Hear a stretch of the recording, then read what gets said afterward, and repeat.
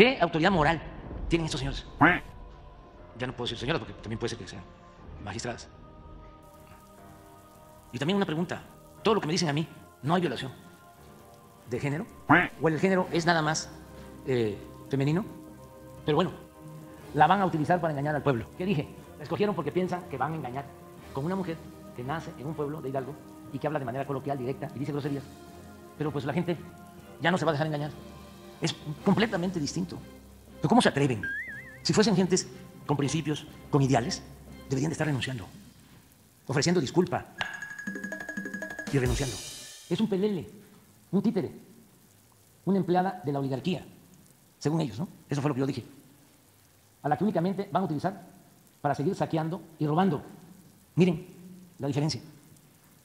Es que la señora, pues es Fox, es Salinas, es Claudio, es Roberto Hernández.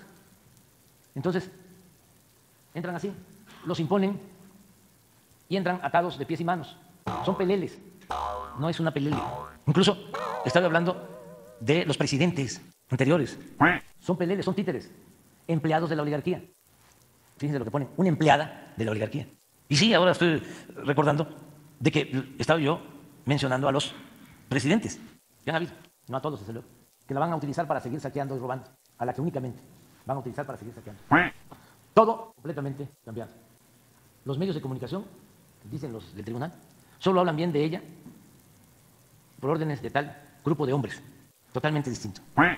¿Qué vamos a hacer con, dice este, Juan Francisco Willy Ortiz, en su periódico, que estoy amenazando con desaforar a los magistrados? No, no, no. La historia lo juzgará, como a todos, no juzgará la historia.